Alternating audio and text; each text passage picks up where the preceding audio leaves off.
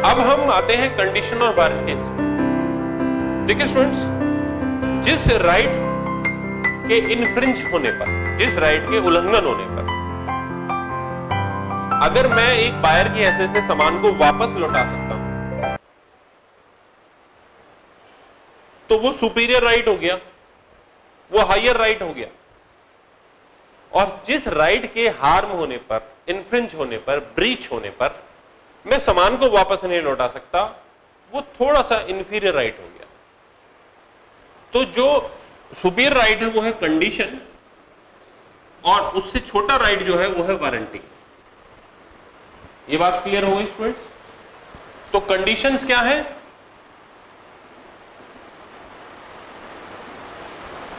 Conditions वो rules हैं जो इसेंशियल है सेल गुड सेक्स में।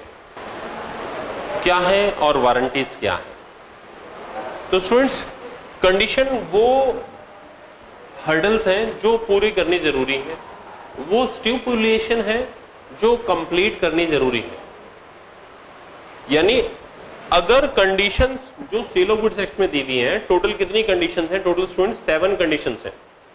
अगर वो सेवन कंडीशन जो सेलो गुड्स एक्ट में दी हुई हैं, अगर वो पूरी नहीं करी किसी भी सेलर ने तो बायर को अपना खरीदा हुआ गुड्स वापस करने का राइट है। लेकिन जो वारंटी है, जो सेलो गुड्स एक्ट में दी हुई है, लगभग चार तो वो वारंटीज जो हैं, अगर किसी सेलर ने पूरी नहीं करी तो बायर गुड्स को वापस नहीं कर सकता, लेकिन वो गुड्स के लिए डैमेजेस मांग सकता है। तो यानी कंडीशन और वारंटी में सबसे पहले तो मुझे डिफरेंस मालूम होना चाहिए। तो आइए पहले डिफरेंस ही मालूम करते हैं कंडीशन और वारंटीज में।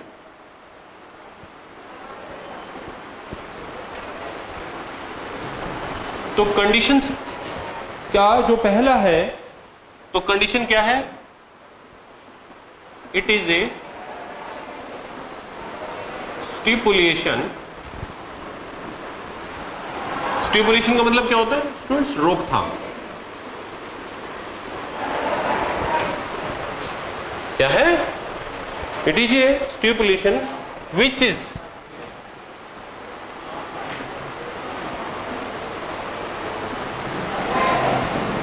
essential to the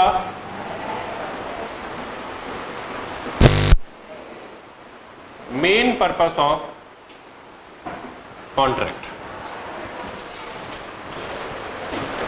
इसमें जो इंपॉर्टेंट है, वो है ये। इसेंशियल और स्टूडेंट वारंटी क्या है? It is a stipulation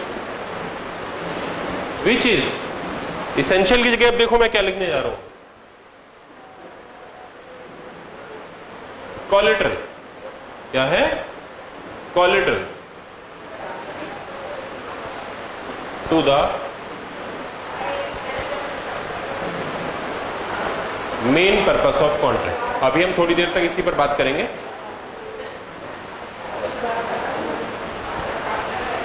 तो स्टूडेंट्स यानी कंडीशंस का फुलफिलमेंट होना इसेंशियल है।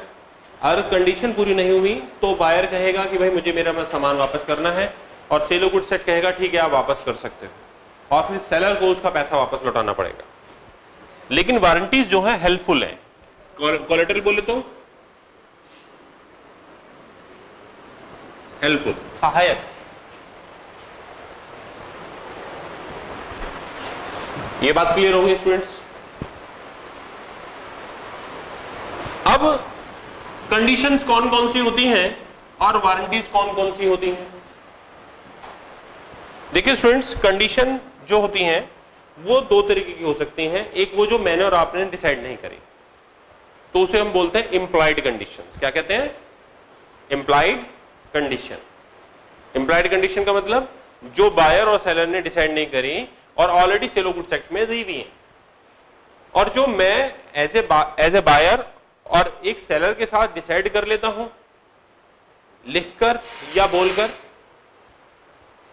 वर्बली या रिटर्न एग्रीमेंट के द्वारा तो वो स्टूडेंट्स वो कंडीशन कौन सी हो जाएँगी?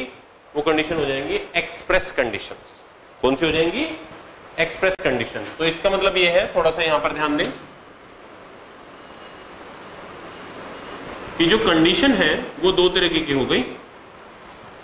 आ, जो कैमरामैन टीम है मैं उनसे बात कह रहा हूँ कि थोड़ा सा है ना फॉन्ट साइज़ को देखा करें कि फॉन्ट साइज़ पूरा आ रहा है नहीं आ रहा है स्क्रीन में।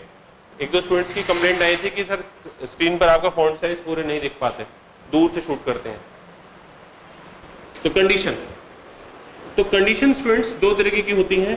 एक इम्प्लाइड जो डिसाइड नहीं करी बाई डिफ़ॉल्ट है और एक एक्सप्रेस एक्सप्रेस यानी जो या तो हम ऑरली या लिख कर हम लोग पूरा कर लेते हैं।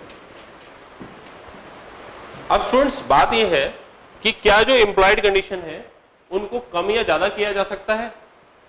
स्टूडेंट्स सेवन कंडीशन दे रखे हैं सेलो गुड्स एक्ट में। अगर मैं उसे छह कर लू, पाँच कर लू, यानी बोलकर उन चीज़ों को मिटा दिया हमने तो वो वो एक्सप्रेस हो गई। यानी एक्सप्रेस का मतलब हमने उन्हें डिलीट कर दिया। तो हम उसे ऐड भी कर सकते हैं और डिलीट भी कर सकते हैं मिलजुल कर। पर अगर हमने उन्हें कम या ज़्यादा नहीं बनाया है तो जो अवेलेबल है सेलो गुड्स एक्ट में, वो कायम रहेंगी। ये बात क्लियर हो गई स्टूडेंट्स करेक्ट है? ठीक। तो मैं दोबारा से पूछ रहा हूँ कंडीशंस क्या है? Conditions are the essentials stipulations conditions are the stipulation which are essential for the main purpose of the contract condition को पूरा करना इसेंशियल है मस्ट है, ज़रूरी है। और स्टूडेंट वारंटी क्या है? Warranty are the helpful rules and condition for the to fulfil the main purpose of the contract यानी these are these are not essential these are only helpful so that they are called collateral तो इनका ये सहायक है। ये contract को पूरा करने में हेल्पफुल है। लेकिन इनको पूरा करना इसेंशियल नहीं है। समझ में आ गया? है दोनों में बेसिक डिफरेंस वारंटीज क्या है? वारंटीज भी दो तरीके की होती हैं स्टूडेंट्स अगर मैं आपसे बात करूँ तो वारंटीज भी इंप्लाइड और एक्सप्रेस हो सकती हैं। जो सेलो गुड्स एक्ट में वारंटी गिवन लिखी हुई है, वो इंप्लाइड हो गई। और जो मैं और आप मिलकर एक्स्ट्रा तय कर लें, वो एक्सप्रेस हो गई। ये बात क्लियर हो गई स्टूडेंट्स आप सबको क्लियर है? ठीक। तो इसका मतलब ये है स्टूडेंट्स कि कंडीशन और वारंटी में कुछ भी डिफरेंस नहीं है, सिर्फ़ इतना डिफरेंस है कि ये इसेंशियल है और ये इसेंशियल नहीं है। इस पर सामान वापस किया जा सकता है और इस पर सामान वापस नहीं किया जा सकता। है क्लियर है स्टूडेंट्स ठीक। क्या कंडीशन को मैं वारंटी बना सकता हूँ फ्रेंड्स बताइए। क्या कंडीशन को वारंटी बना सकता हूँ? हाँ। मेरे को कंडीशन के अकॉर्डिंग अगर कंडीशन में कोई ब्रीच हो जाता है तो मैं गुड्स को वापस कर सकता हूँ। पर फिर भी मैंने गुड्स को वापस नहीं करा। फिर भी। तो इसका मतलब मैंने कंडीशन को क्या मान लिया? वारंटी यानी इसका मतलब है कंडीशन क्या क्या राइट देता है? राइट अंडर कंडीशन क्या क्या है एक बायर के पास? उसके पास है गुड्स को वापस करने का। गुड्स को वापस करने का। पर अगर वो इस राइट को सेक्रीफाइस कर देता है तो ऐसी हालत में उसने कंडीशन को क्या मान लिया स्टूडेंट्स वारंटी तो पेपर में क्वेश्चन आएगा। सीपीटी में पेपर में क्वेश्चन आता है सीएस में भी आता है कि क्या कंडीशन को हम वारंटी मान सकते हैं? तो आंसर है यस कि अगर बायर अपने राइट को यूज़ ना करे, जो कंडीशन उसे देता है तो it means buyer has treated condition like a warranty अब स्टूडेंट्स याद है क्या? वारंटी को कंडीशन बनाया जा सकता है? तो इसका जवाब है नहीं। क्योंकि वारंटी में गुड्स तो वापस किया ही नहीं जा सकता। तो इसलिए वारंटी कभी भी कंडीशन नहीं बन पाएगा। ठीक है? तो यानी condition can be treated like a warranty. और warranty? It can't be treated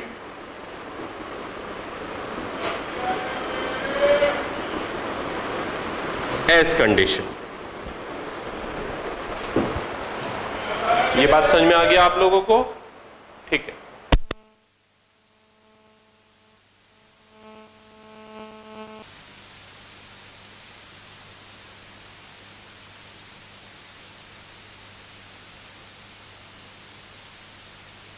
आ गया। Buyer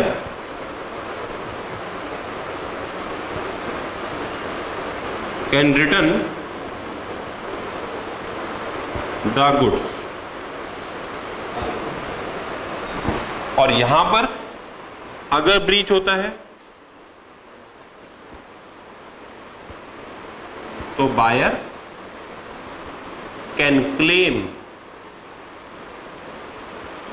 only for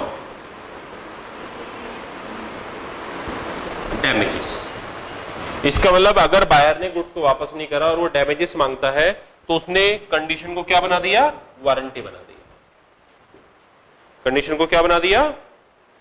warranty clear है स्टूडेंट्स तो ये बेसिक डिफरेंस है कंडीशन और वारंटी में जो आप हमेशा याद रखना। इसके बाद जो मैं अब आऊँगा, आप इसे उतार लीजिए कॉपी कर लीजिए। इसके बाद जब मैं आऊँगा तो मैं आपको आपको इम्प्लाइड कंडीशन पढ़ाऊँगा। कौन कौन सी इंप्लाइड कंडीशन है? आपको एक्सप्रेस कंडीशन मैंने बता दी एक्सप्रेस कंडीशन किसी भी बुक में नहीं लिखी है। एक्सप्रेस कंडीशन का मतलब जो बायर और सेलर मिलकर तय कर लें। यानी अगर मैं एक बायर हूँ और मैंने कोई शर्त तय कर ली कि अगर भाई ये शर्त पूरी नहीं हुई तो मैं माल को वापस कर दूँगा और तुम्हें माल को वापस लेना पड़ेगा। और सेलर ने अपनी आ, जो है एक्सेप्टेंस दे दी है कि हाँ ठीक है मैं गुड्स को वापस ले लूँगा। तो इसका मतलब मेरे और उसके बीच में जो तय हुआ है, वो किसका हुआ कंडीशन तय हुई है। पर अगर सेलर कहता है, नहीं जी, माल वापस नहीं लूँगा मैं, लेकिन मैं आपके डैमेजेस दे दूँगा। तो इसका मतलब यह है कि वो चीज़ जो मैंने और उसने मिलकर डिसाइड करी, वो वारंटी हो गई। तो अगर बायर और सेलर मिलकर किसी कंडीशन पर, किसी चीज़ को मिलकर तय करते हैं कि माल वापस कर सकते हैं तो इसका उन्होंने बात करी कंडीशन की। पर अगर सेलर कहता है कि, नहीं, मैं माल वापस नहीं करूँगा, मैं डैमेजेस देने के लिए तैयार हूँ तो इसका वो दोनों बात कर रहे हैं वारंटी की। बहुत सिंपल डिफरेंस है, बहुत आराम से आप उसे रिकोगनाइज कर सकते हो। ठीक है? अभी आप इसे कॉपी कर लीजिए। कॉपी करने के बाद फिर मैं टाइप्स ऑफ़ कंडीशंस पर आऊँगा इंप्लाइड कंडीशन पर आऊँगा। ठीक है? ओके और जी गुरु जी हमारी है?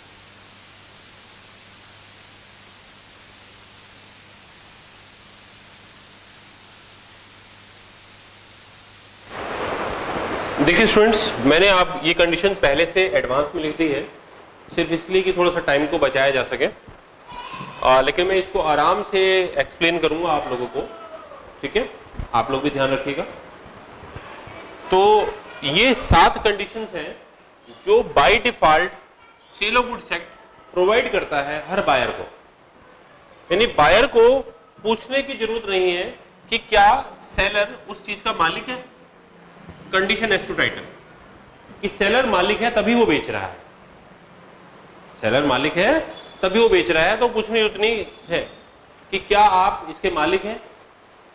वो ऑलरेडी ये मानेगा हर बायर कि जो सेलर बेच रहा है, वो मालिक होगा, इसलिए वो मुझे बेच रहा है।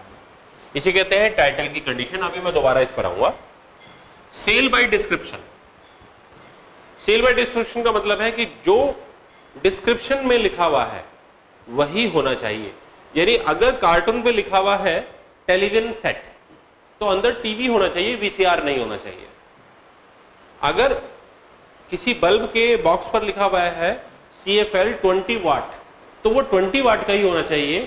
वो ट्वेंटी वाट से कम या ज़्यादा का नहीं होना चाहिए, इसे कहते हैं sale by description sale by sample का मतलब है कि अगर मैंने कोई सेलर को कोई सैंपल दिखाया है तो जब वो मुझे गुड्स देगा तो उसी सैंपल के अकॉर्डिंग होना चाहिए। कंडीशन एज टू क्वालिटी और फिटनेस कि जो भी गुड्स मैं परचेज कर रहा हूँ, उसमें क्वालिटी होनी चाहिए। क्या होनी चाहिए? कमर्शियली वो सेलेबल हो। कमर्शियली वो सेलेबल हो। मैं सब पर बारी बारी से आऊँगा। Condition as to merchantability merchantability का मतलब जो मैंने बाई करा है, मैं उसे उसे, उसी वैल्यू पर सेल कर सकूँ। उसकी फुल वैल्यू मुझे मिल सके। इसे कहते हैं merchantability condition implied by custom अगर कोई कस्टम मेरे को बोलता है कि इस तरीके से उसको मिलना चाहिए था मेरे सेलर से तो वो अकॉर्डिंग टू कंडीशन कस्टम के अप्लाई हो जाते हैं, जो डिफरेंट रीजन में या डिफरेंट प्रोडक्ट में या डिफरेंट मार्केट में जो भी कस्टम अप्लाई होता है। और जो ईटेबल्स होते हैं, खाने वाली चीज़ें होती हैं डेफिनेटली वो अच्छी होनी चाहिए, पौष्टिक होनी चाहिए हेल्थी होनी चाहिए। हजारडियस नहीं होनी चाहिए। उसमें कोई पॉइजनस जैसा चीज़ नहीं होनी चाहिए, उसे कहते हैं होलसमनेस ये इटेबल गुड्स के लिए आता है। ठीक है स्टूडेंट्स तो ये सातों कंडीशन किसी भी बायर को, किसी भी सेलर से पूछने की ज़रूरत नहीं है। यानी आप किसी रेस्टोरेंट में गए और डोसा खा रहे हैं आप तो आपको पूछने की ज़रूरत नहीं है कि इस डोसा के खाने से मैं बीमार तो नहीं हो जाऊँगा। वो आप ये मान लीजिए कि जो डोसा है, वो अच्छी क्वालिटी का होगा। पर अगर आपने वो डोसा मान लीजिए अपने घर पर मंगाया है और पता चला डोसा में कुछ ऐसी क्वालिटीज डाउन थी कि वो खाने लायक नहीं है तो आप इस बेस पर ये मान लेंगे कि कंडीशन इम्प्लाइड कंडीशन ब्रीच हो गई है, आप इस बेस पर उस डोसा को वापस कर सकते हैं। ठीक है स्टूडेंट्स तो मैं वापस स्टार्टिंग से आ रहा हूँ कंडीशन एस टू टाइटल देखिए स्टूडेंट्स आपको मैं पिछले चैप्टर में बता चुका हूँ कि जो सेल के कॉन्ट्रैक्ट होते हैं, वो दो तरीके के होते हैं कॉन्ट्रैक्ट ऑफ़ सेल और एक एग्रीमेंट टू सेल मैंने पिछले चैप्टर में ये भी बताया था कि एग्रीमेंट का मतलब एग्रीमेंट नहीं होता है। एग्रीमेंट का मतलब यहाँ पर कॉन्ट्रैक्ट से। वो कॉन्ट्रैक्ट सेल का बन गया और किसी फ्यूचर डेट के लिए बन गया, इसलिए हम उसे एग्रीमेंट टू सेल कह रहे हैं। पर वो प्योर कॉन्ट्रैक्ट है। तो स्टूडेंट्स ये माना जाता है कंडीशन एस टू टाइटल में कि अगर वो कॉन्ट्रैक्ट ऑफ़ सेल है तो सेलर उसका मालिक है। और अगर वो एग्रीमेंट टू सेल है तो ये माना जाएगा कि अगर सेलर आज मालिक नहीं है तो जो फ्यूचर डेट है, जिस डेट पर हमने बायर और सेलर ने डिलीवरी के लिए सोचा है, उस दिन वो गुड्स का वो मालिक बन जाएगा। कौन? सेलर और फिर वो सेलर जब मालिक बन जाएगा तो वो बायर को भी मालिक बना देगा। दोबारा से बता रहा हूँ, ध्यान से सुन लीजिए।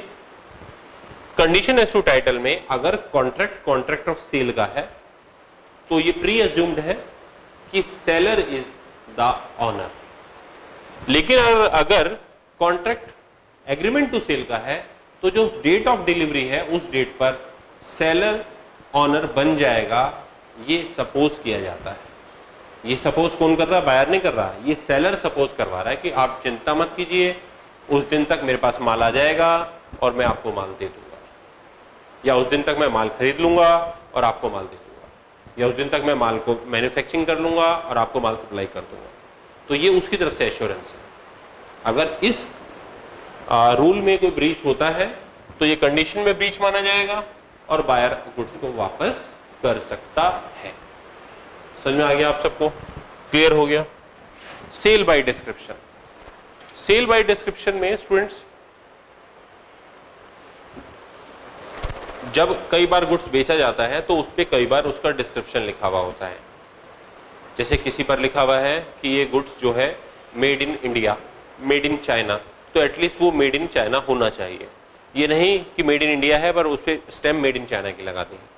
ये हो गया सेल बाय डिस्क्रिप्शन या उसमें लिखा हुआ है कि, जैसे एक एग्ज़ाम्पल अभी दिया था मैंने कि अंदर अगर अगर कार्टून टीवी का है, और मैं टीवी खरीद कर ला रहा हूँ तो डेफिनेट उसमें से टीवी निकलना चाहिए। अगर उसमें टीवी की जगह पर कोई और इलेक्ट्रॉन इलेक्ट्रॉनिक आइटम निकल जाता है, मान लीजिए ओवन निकल जाता है तो निकाल रहे थे टीवी और निकल गया ओवन तो इसका मतलब वो सेल बाई डिस्क्रिप्शन वाला जो क्लॉज है, उसको ब्रीच माना जाएगा और इस बिना पर जो कस्टमर है, वो गुड्स को वापस कर सकता है।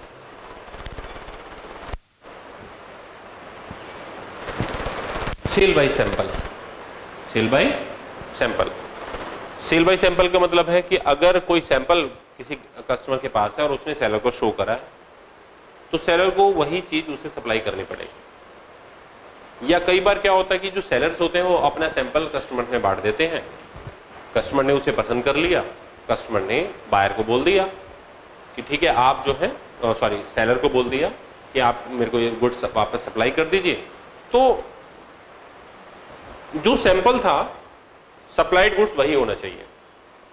अब सवाल है कितना? 100 percent, eighty percent ninety percent कितना? तो इसका जवाब है students bulk of the quantity bulk का मतलब आप ये मान लीजिए at least 95 percent ninety percent ninety percent, या अबव 92 परसेंट. यानी यानी अगर 10 पैकेट हैं तो एटलीस्ट 9 से ज़्यादा पैकेट उसी सैंपल के होने चाहिए। 9 से ज़्यादा पैकेट कि दसवां पैकेट भी उसी का होना चाहिए। लिटिल बिट अगर कोई और दूसरे टाइप का उसमें क्वालिटी मिक्स हो जाती है तो उसके लिए सेलर रिस्पॉन्सिबल नहीं है but bulk of the quantity must be matched with the sample.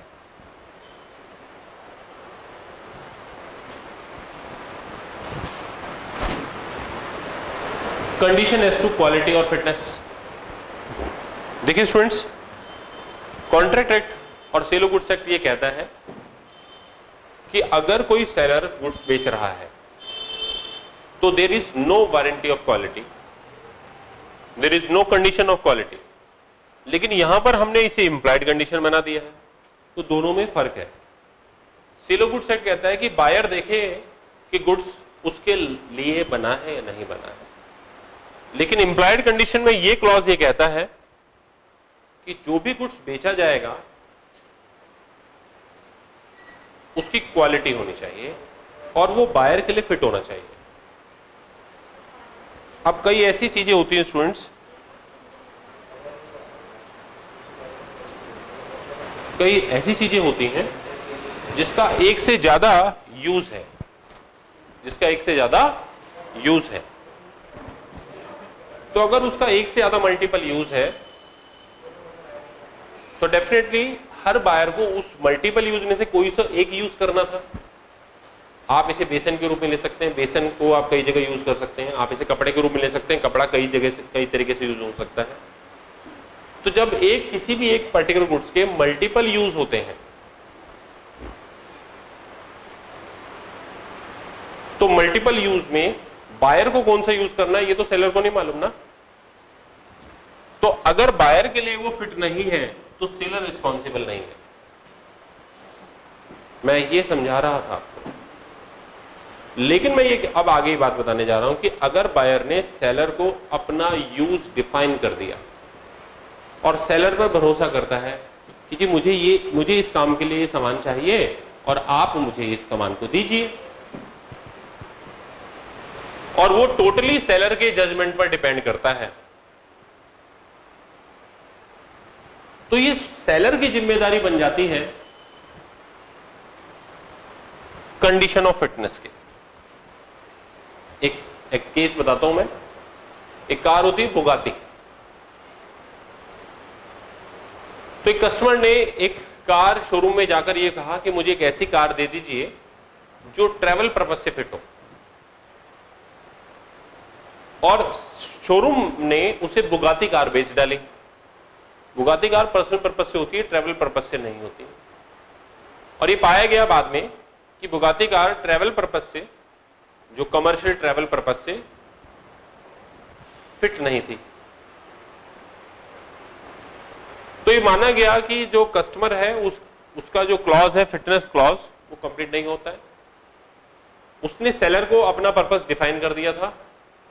तो ये ज़िम्मेदारी टोटली सेलर की थी कि वो उसके पर्पस को सॉल्व करवाए तो इसलिए सेलर टोटली रिस्पॉन्सिबल माना गया।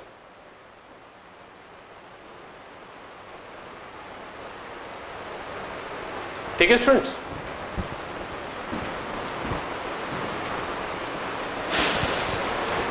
अब इसके बाद जो आता है, वो आता है condition as to merchantability merchantability का मतलब है कि जो गुड्स है कमर्शियली सेलेबल हो। क्या हो? कमर्शियली सेलेबल हो। यानी अगर कोई चीज़ मैं खरीद रहा हूँ, मान लीजिए मैंने मिल्क खरीदा है तो मैं उसे बाहर जाकर मिल्क के रूप में बेच सकता हूँ।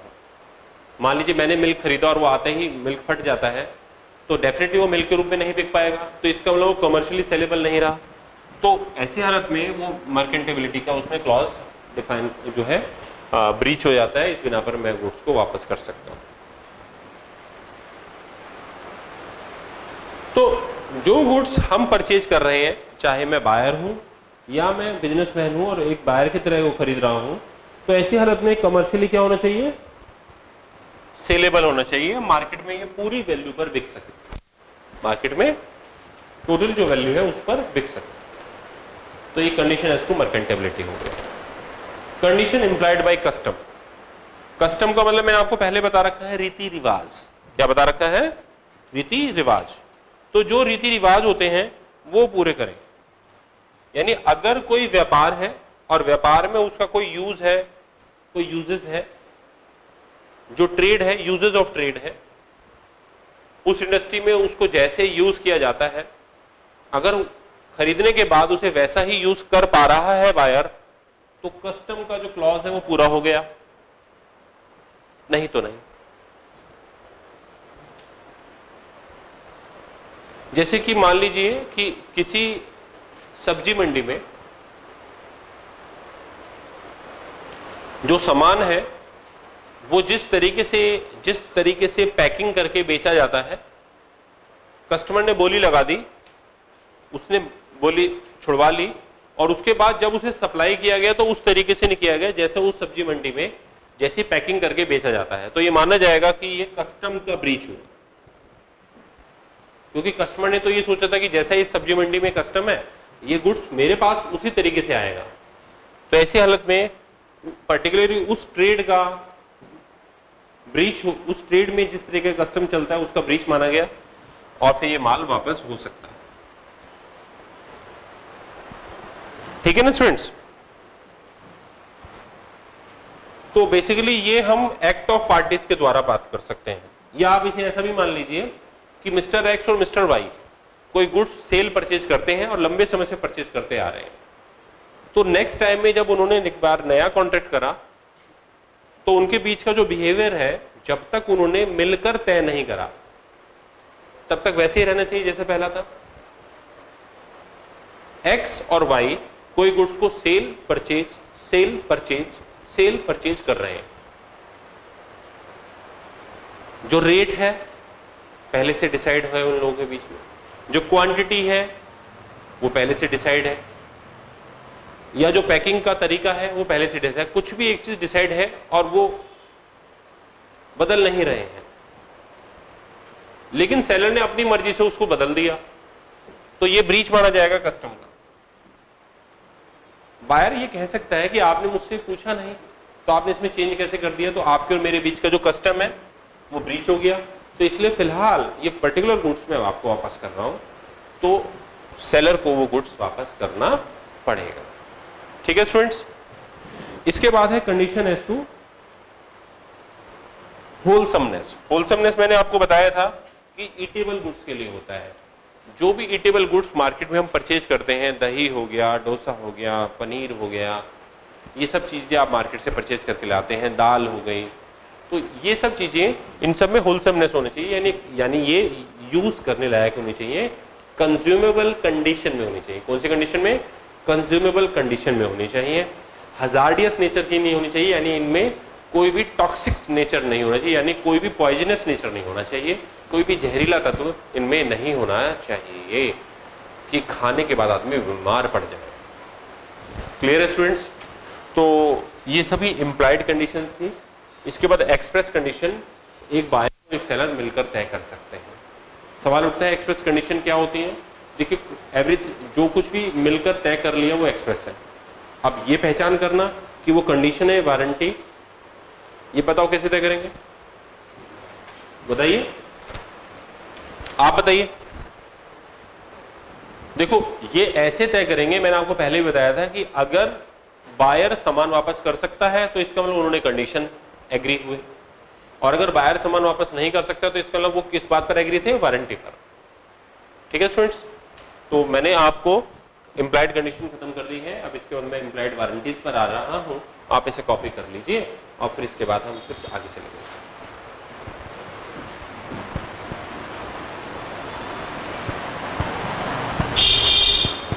दियो तो मैंने यहाँ इस गली मोहल्ले में इम्प्लाइड कंडीशंस बताने के बाद आप लोगों को। अब जो हम बताने जा रहे हैं, वो बताने जा रहे हैं इम्प्लाइड वारंटीज के बारे में। ये इम्प्लाइड वारंटीज है, किसी भी बायर को किसी भी सेलर से पूछने की ज़रूरत नहीं है। ये हर सेलर को अपना मूवेबल गुड्स बेचते समय मालूम होना चाहिए। और हर बायर को ये मालूम होता है कि मेरे को ये वारंटीज मिलेंगी। इन वारंटीज के ब्रीच होने पर बायर को राइट नहीं है गुड्स को वापस करने का। लेकिन वो जितने का उसे लॉस हो जाए, उस लॉस को वो एज ए डैमेजेस क्लेम कर सकता है सेलर से और बाय लॉ वो क्लेम वापस मांग सकता है, ले सकता है। तो पहली वारंटी है, वारंटी ऑफ़ क्वाइट पोसेशन उस गुड्स को शांतिपूर्वक इस्तेमाल करने का अधिकार। यानी कि आपने खरीदी साइकिल आपने क्या खरीदी? साइकिल और साइकिल की जो सीट थी उसमें कील निकली हुई थी और उसने आपकी पेंट फाड़ दी।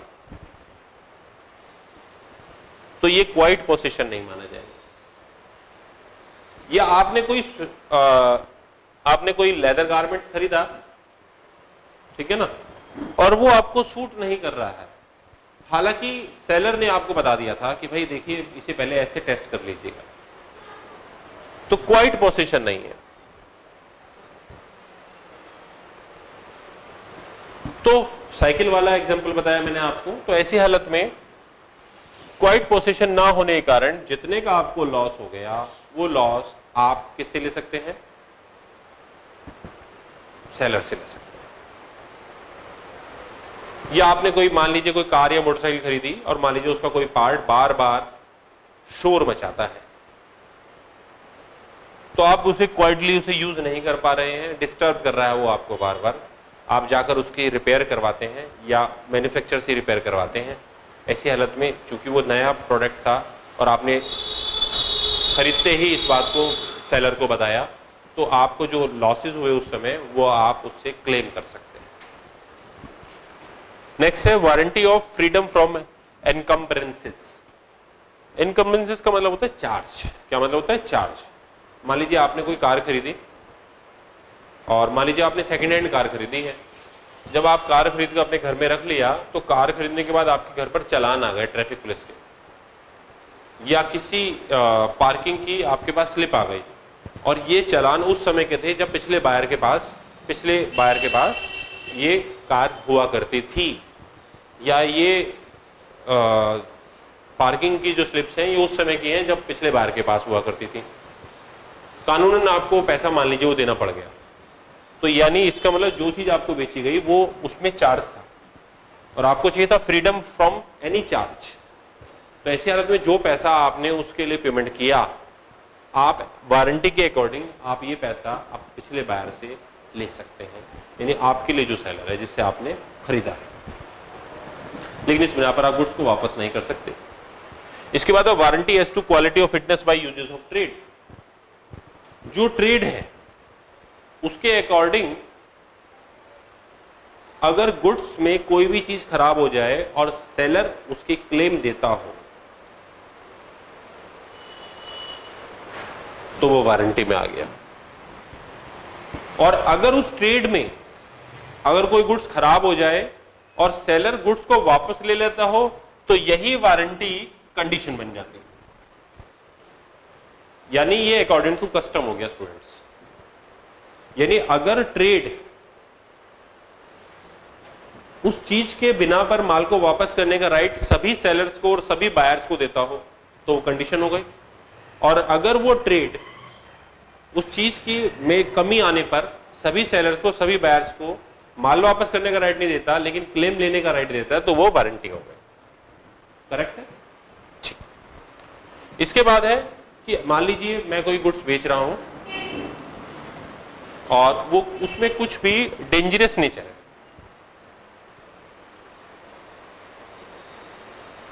तो अगर उसमें कोई डेंजरस नेचर है तो सेलर की ज़िम्मेदारी है कि वो बायर को बताए कि, सर, इसमें ये डेंजरस नेचर है, आप प्लीज़ इसको ऐसे यूज़ कीजिएगा।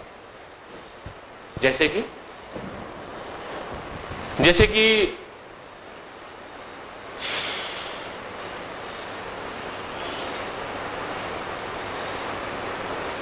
आप बहुत सी दवाइयाँ लेकर आते हैं।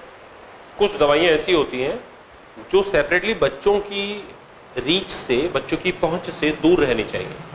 तो उन दवाइयों पर स्पेसिफिकली लिखा हुआ होता है। तो सेलर ने आपको लिखकर बता दिया कि भाई बच्चों की पहुँच से दूर रखिए। नंबर एक।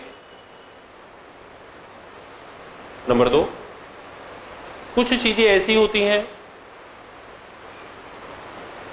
जो एक्सटर्नल तो यूज़ कर सकते हो आप इंटरनल यूज़ नहीं कर सकते। मतलब वो लगाने की है, खाने की नहीं है। तो उन दवाइयों पर लिखा हुआ होता है uses for only external purpose तो यानी उसमें डेंजरस नेचर था कि आप खा नहीं सकते आप उसे। आप सिर्फ़ लगा लीजिए, खाइए नहीं। तो डेंजरस नेचर उसका पहले से सेलर ने बता दिया। इस तरह से कई गुड्स ऐसी होती हैं, जिसको आप हैंडल करते हैं तो वहाँ पे एरो वगैरह के निशान होते हैं कि आप इसे ऐसे पकड़िएगा, ऐसे मत पकड़िएगा, लिटाइएगा नहीं। तो वो उसका एक प्रकार का डेंजरस नेचर है। तो अगर उसने नहीं लिखा है और आपने बाई चांस उसे पकड़ लिया और नुकसान हो गया तो वारंटी क्लॉज हो गया, आप उसका क्लेम ले सकते हैं। पर अगर उसने आपको बता दिया था तो अब आप उससे वो क्लेम नहीं ले सकते। तो स्टूडेंट्स फिनिश होता है वारंटी सभी को क्लियर हो गया है पोजीशन आपको भी? तो कंडीशंस सात पढ़ी हमने। वारंटी हमने चार पढ़ी। अब इसके बाद जो नेक्स्ट टॉपिक है, वो है exclusion and inclusion of condition और वारंटीज यानी कंडीशन वारंटी में कोई आइटम ऐड किया जा सकता है या कोई आइटम निकाला जा सकता है। तो जवाब है यस पेपर में अगर क्वेश्चन आएगा तो आपने क्या बोलना है? यस बोलना है। क्यों बोलना है? मैंने आपको बताया कि एक्सप्रेसली हम इस चीज़ को पूरा कर सकते हैं। हम उसको कम या ज़्यादा बना सकते हैं। क्लियर स्टूडेंट्स अब इस टॉपिक में कंडीशन और वारंटी डिस्कस करने के बाद क्या बच जाता है, आपको यह मालूम होना चाहिए। तो इस टॉपिक में कंडीशन और वारंटी को के बाद जो बचता है वो है let the buyer behaviour caveat emptor rule rule of caveat emptor तो अब मैं वही पढ़ाने जा रहा हूँ रूल ऑफ़ कैवेट एम्पिटर ठीक है स्टूडेंट्स तो आप कॉपी कर लीजिए, उसके बाद बताते हैं।